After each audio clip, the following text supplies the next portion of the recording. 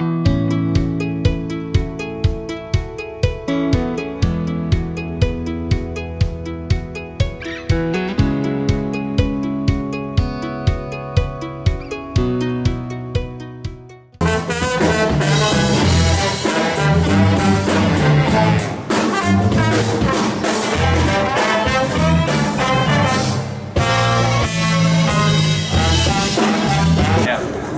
Engineer 775 here. I am at the Intersolar Conference out in San Francisco with two of my favorite solar buddies. We got Jason Andrade and we got Johnny Valentine, which you know Johnny from my videos, but Jason is uh, West Coast Sustainables. You got to check out He's his channel. master. Go to Jason Andrade. He's helped us on so many systems. He he's been he's way ahead of us. I hate to admit it how far ahead of us he He's is. in California, so they're from the future anyway. They're from the future.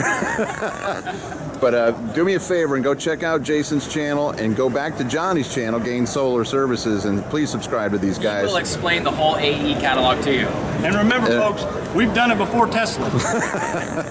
So we're about to have a lot of fun. We're going to go, um, just we're hanging out for three days and taking in um, the sights of San Fran in this conference. So we're Hanging out looking with forward. Elon, Elon's Elon Musk is here. We're just hanging out and telling him with him. How to do the Tesla We're battery going to see right. what it's like to go through Intersolar Engineer 775. Yeah, Engineer 775 is a big burly man behind the camera. All right. Subscribe to these guys' channel. Would you do me a favor? Appreciate it. Thank you. We're on the second floor now, looking at batteries. We're at the Rolls booth right now, Rolls Battery Engineering. These guys are geeking out on batteries. Which battery's better? My battery's bigger than your battery. We're just talking And, uh, batteries here. Just talking batteries Look for how strong. This is what why Jason Andrade is such an explosive solar installer. Go ahead and just show him a power lift on this this T12 250. Now this is a heavy battery, folks. Look at that. Yeah, Just- that's, look at that. That's like a 200 pound battery. See, that's why at that's why he's just- such a, he's a one man solar show, folks. Next thing we're gonna do, we're gonna be doing the clean jerks on the two volt. Okay, I'm at Intersolar. I'm on the floor with all the storage systems, and I'm looking at the Aquion battery. These things are awesome. They have little MC4 connectors. so You can basically network these things together. And I'm trying to find a good application. And the chiller video that you might have seen is a perfect application for these saltwater batteries. So I'm looking for a video on these in the near future. But uh, real excited about these tremendous storage capabilities. They are they're water. So you know me, we do everything we can with water, and so the Aquion battery is a perfect match. All right, I'm here on the second floor battery storage systems. I am just this is like a kid in a candy shop. We spent a lot of time here talking to Aquion. Have some great applications for those saltwater batteries.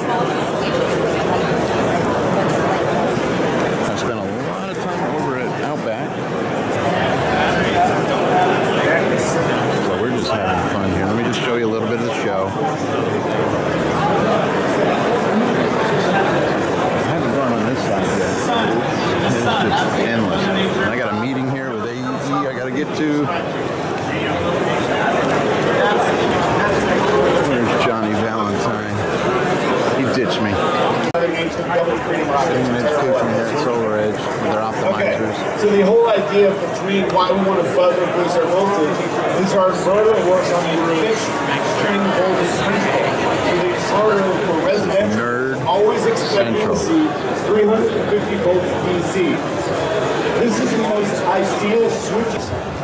All right, we found another treasure here at the show, the Stiebel Eltron. This is the new heat pump water heater. It's not a hybrid. It's got a cutaway on it, so you can see that it does have a backup element. The beauty of this machine, I don't know if you can see it in here, is the compressor. This baby only runs 500 watts, and it's, so you can crank up the temperature like to you know 140 plus degrees and then uh, you use a mixing valve and so you can do all your water heating with a hybrid Stiebel Eltron water heater, heat pump water heater. And where I live in South Carolina, it's great because it's going to take the hot, humid air, going to dehumidify it, take all that heat, and turn it into hot water. So this is the most impressive. I don't know what the compressor is yet. I, don't. I, it's a standard. It's not an inverter compressor, but that's okay. It's only running 500 watts. So this is not a hybrid. It's a heat pump water heater. Got the ETL certification. And uh, so we're. This is the latest greatest. I know I've used the Geyser ROs, same technology, but uh, Stiebel Eltron is like is like the Cadillac of heat pump water heaters. Up on the third floor now. The third floor is all racking, PV racking of all sorts. So we're gonna go check out. Oh, this stinks. I gotta leave. I've had so much fun at Intersolar, but it's only day two. I got one more day. I'm like a kid in a candy store. So, anyway, it's been a good day, and we gotta wrap up day two. Johnny's got to go home. Johnny does have to go home tomorrow. That's a bummer. But I get to hang out with Jason Andrade for another day. So we're gonna have fun tomorrow. And we're going to Battle of the Bands. And we got version. passes to the Battle of the Solar Bands. Solar Battle of the Bands. He's going to be sharing all his secret install tips. With me. These DJI drones are awesome. Um, this booth was set up with thermal imaging. You can see on the screen, everybody walking around is picking up thermal imaging. This is good for finding uh, hot spots and failure modes and solar panels on your roof. But these things keep getting much better. The cameras are awesome. This one has articulating arms. The arms, if we'll see, will come down um, for landing, but they go up so that you have a full clear view of the camera on its gimbal. It can so here's the arms coming down so that it can land safely and not destroy the camera. So this guy's been flying this thing for three days, so he kind of does it with his eyes closed. He's really good, uh, but they're very stable. So we're looking at these not necessarily from the thermal imaging, but possibly in conjunction with doing some security. Uh, can you imagine having one of these? They got about a 25 minute time, and you can basically um, plot a uh, perimeter and let the thing go on camera. There's Jason. I'm up on the third floor. Not even. Just having a fun time looking at uh, all different types of racking and ways to mount solar panels. And uh, I'm going to do some Iron Ridge. I've, I've always seen them. They're very simple. And I know Jason Andrade at West Coast Sustain has been using a long time. A lot of times I do top of pole mounts and then I switch up to a ground mount, but the, I need something in between. And it looks like uh, you know the Iron Ridge is probably the easiest, just using regular pipe, two inch and three inch, and then you have these uh, couplers and clamps, and you can adjust your angle. And they got a configurator that pretty much makes sure you do concrete, your foundation bases right. You can mount these on a roof too, but anyway, this is uh, something I want to do for um, some of the bigger solar water pumping projects I have. They got all sorts of cool fasteners now. I really like these. Um, been watching these guys demonstrate how they work. I'm David with Iron Ridge. Uh, this is our new Universal Fastening Object, or UFO for short. As you can see, it has a nut, a clamp head, and a barrel bolt all integrated together. What that allows you to do is just place it in the rail, it down, land it in the module. It's automatically bonding that module in place. It has internal lubrication so it can spin as fast as you can make it go. It's called the Universal Fastening Object because it has a height range of 30 to 48 millimeters, which works with any module frame. As well, that mid clamp that I just installed can also turn into an end clamp with a stopper sleeve, just like that. Let me give it a shot. One more time for the other end clamp. That's nice, neat end clamp. That's it. The job's done. That's great. All right, David, I really appreciate you showing me how to do that. Thanks for coming by. All right, I'm here with uh, Jeff over at SnapNrack, and he's doing a demonstration of uh, their components. Sure. So this is a new innovation for the show. We just added a simple spring to the mid clamp. Um, as you can see, all of the SnapNrack. This is why we call it SnapNrack. Product snaps into place. Advantages here are you don't have to slide clamps in from the end. T-bolts and All that kind of stuff. As you're laying mods, you can go right down the line, have a bag of them on your belt, snap them into place. Um, the advantage of the spring is kind of self-explanatory, but it's a good innovation because now instead of having two guys putting mods down, you can have one down and just runs it down with the How long's the spring been out? We just we just came we just did For the show? for the show for the show. So springs will start showing. I mean, we're, we just ordered a million springs. it's just holding the clamp so you, another extra set of hands for you. yeah, because in the past without the clamp, Falling down. it was down, so somebody would have to pull it up, slide the Yeah. mod. So now you don't have to do that. nice. Um, we also, with, as part of our wire management, we have these in lieu of a um, of a zip tie, which zip ties also in weather will they have a limited lifespan Right. also. So we came up with this uh, wire clamp, and what what this does is it, it replaces that. It fits our profile, so you can now trap the wires down.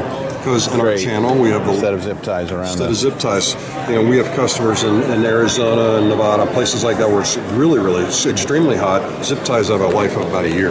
Okay. So, um, and again, you know, here's our here's our uh, end clamp. Um, everything snaps into place, and it's still. It really is amazing. Um, Talk to me about some of your root. All right, go keep going. You got some Oh, that's fine. wire management. Wire man- so the other part of the wire management too is for your home run cables and your trunk cables. If you're doing um, inver- micro inverters or inverters, you uh, have the ability now to capture these wires and the Just keep 'em from sagging. Just keep them sagging because the inspection process is a lot of inspectors. If they see wires dangling, they're gonna they're not Laying on the pass you. roof, right. Yeah, they're not going to pass you. So um, the wire management's big for us. We've always had the deep channels for, for the wire management, but now having being able to trap the wires and, and manage them properly is uh, something we're very proud of. Um, also, uh, our, com- uh, we have, came up with a junction box. Now it's a 4X box. This is just an example of how it can be used. Right. We ship it without it being drilled at all. You can do whatever you want. Do whatever you want. So it comes it comes with this, and it also has the bolt and the nut that traps it in our our. You can uh, tighten it down and Snap it right in. It snaps in, and then you can tighten it with the with the nut. Half inch on everything. Everything half inch socket takes care of everything with the our. What about the nut? Uh, explain to me these roof bases. I really we use these. I really like those. The metal And roof base, yes. Um, great part. We've, it's been out, gosh, it's been out almost two years now. Um, so real simple to use. The nice thing about it is, is that we've got a gasket here, and there's no UV exposure. So there's no need for you to, to truly seal this unless you want to. Right. The nut covers it. Exactly. So you go into the roof um, with your lag, you tighten it down, and then the second piece has the redundant um, washer in it as well. Right. Screw it on, and then as you can see there. and it's sealed there. And as you can see here, it comes with an L foot. Everything from SnapNrack comes assembled, so you're not assembling anything. Um, and you go right to the. What do you mean it comes assembled? It's the, when you with the rail, it's coming you, with no, no, no. If you buy if you buy any of these, if you Yeah. buy any- this clamp, it comes with the L foot on. Um, all the, you don't get pieces that you have to assemble. Got it. Um, if you like when you get if you buy the comp roof um, package, Yeah. you get this, all of this together, Got it. It's complete assembly. The assembly and the, the roof flashing is it comes with it. It's a kit. It's a kit. That's correct. Got it. Um, you know, even even this stuff, it comes assembled, so you're not putting pieces together. I'm guessing how it goes together. Yeah. Well, you know, you know, let's face it, that's, it's a labor shop. It is. The guys in the, in the warehouse the night before getting ready for a job. Um, now, the metal roof base, we offer a lot of solutions. This Now, what about the lag itself? Do you supply that, or is that a is that a, it can get anything? You can get anywhere because you know legs, You don't supply those? We don't supply All right, all right. Um, we can. I mean, we can get them, but uh, the truth is that you can probably get them locally. You get them at Home Depot, whatever. That's okay. Fastenal, any place. Got it. Um, now on the metal roof, we have other options also. This this Got like is an S5 type clamp. yes, it's actually you're, you're that's a that's a good analogy. So we, we did the S what we did with it is a little bit different. Let me put this here for now. Um, so S5's got a fine clamp and they use set screws. Yes. So one thing immediately is you got a sec- at least one more tool. With us, everything sticks with the Still half half inch. Now it's also a camber effect. So so um, it's camming over. it's camming over, and the other thing it's doing too, and you can see it here as well, it's not penetrating the coating of the roof. That's an So important. you got more surface area. It's got more surface area, but the other piece of it too, and, and because of the camber effect, when if you're in a trade wind or a high wind situation, it's lifting, it's actually tightening. Now the other, the, then the third piece of it too is, is we're not breaking the coating on a, on a roof. Because you're so spread out. And uh, You don't yes, have that, and you don't have dimple. there's no dimple. Right. And if you if you break the coating on these, you can violate the warranty of the roof for the home. So you have how many different business. profiles can you handle? There's two. We have two um, that handle pretty much 85% of the uh, rolled roofs up there. But what about a standing seam that's got a taper? Um, it's got a taper to it, like the S5 that we use has a standing seam metal roof that has a taper to it. A little now. taper to it. Yeah. Yeah. We, I, I would have our application engineering team Okay. look at that. All right. We got a very robust application engineering team too. So if you find something like that, bring it to us. Yeah, I wonder if Johnny has seen the spring yet. This Probably is- not. We just we just put it may- out. That's cool. And what is Oh, that? this is the universal line clamp. So this is another. This is uh, we're the only ones that have this. Um, it is a proprietary piece. It's one of the few things that doesn't snap into place. Now, what this does, and it's I can we can walk back over and you can I'll show you over there as well. So what it does is you slide this in, and the way it works, it's and I'm dating myself, Scott, but it's, it reminds me of Pac-Man, right? Right. So what this does is um, you slide this in, and we we train people to keep the tape on. So you slide in about here, you got your mid here, you lay your mod down. Your module's flush right here. You lay the module down. Oh, it comes from the inside. You pull it, it picks up the inside of the module Yeah. frame. You hit it with your half inch driver. It picks up the frame. Yeah. You tuck this in. And we always tell them tuck it in, don't tear it off because if you ever have to service the array, you're going to need to use that tape to redo this. Really? Of course. What's the tape doing? Tape's just for Just pulling puller. Just to pull it back. That's it. Otherwise, you've got a screwdriver and you're doing Okay. the whole nine thing. You put this on here, uh, the end cap, and these end caps, by the way, are designed so that water actually does come out of these if it rains. Okay. Uh, two or three times a year. ponding in there. Yeah, exactly. You guys got a lot of moisture. And so what you have is, if you can envision, and we'll go over there and you can shoot it on the other uh, Okay. other display. You got your module frame right here. You got a nice clean look. Yep. So if you've got a customer, uh, residential customer, and Yeah, I you can did see like their- the end clamps on it. yeah, and, you, and if you if, from an aesthetic piece, It's, it is nice. it's super clean, and that's what this does. But what, this? What is this doing? It's just holding it in one direction. It's not actually holding it from the outside. No, it isn't. It's clamping it from. So here, let's go. All right, let's go look at one. This this is an application for it right here. So there's the end clamp. What it's doing is it's picking up this underside of the frame, much like clamp Oh, got right it. there. I got. Okay, got it. So, okay. so it's it's It's picking up, pulling. It's good. The, the lip on it. it's got got the lip on it, yeah. All right. And that's how that. Sweet. And then so and you get this nice clean finish. It is. You know, it a- looks nice. Black on black. If a homeowner can see that from the street, then that's that's That really nice. As opposed to having the traditional clamp like we have at the other end, which is showing. Right. Well, that's great. Jeff, I really appreciate you showing me SnapNrack. We've started using them, really like them. So I uh, really appreciate it. You're welcome. Thank you. All right, we're closing down. All the exhibits are shutting down. I have um, had enough. it's great. It's been a lot of fun. We are leaving San Fran and Intersolar, and we've learned a lot, picked up a lot of stuff and a lot of tricks, and uh, hopefully be sharing some of these on YouTube. So, all right, time to go home.